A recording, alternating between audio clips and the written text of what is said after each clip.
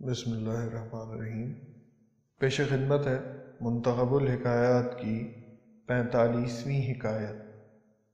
ایک سست آدمی سے کسی نے پوچھا کہ تمہاری آنکھ تو سویرے کھلتی ہے، اتنے دن چوہے تک بچھونے میں پڑے پڑے کیا کرتے ہو؟ سست آدمی نے جواب دیا، میاں تم کیا جانو، میں ایک بڑا پیچدار مقدمہ فیصلہ کیا کرتا ہوں۔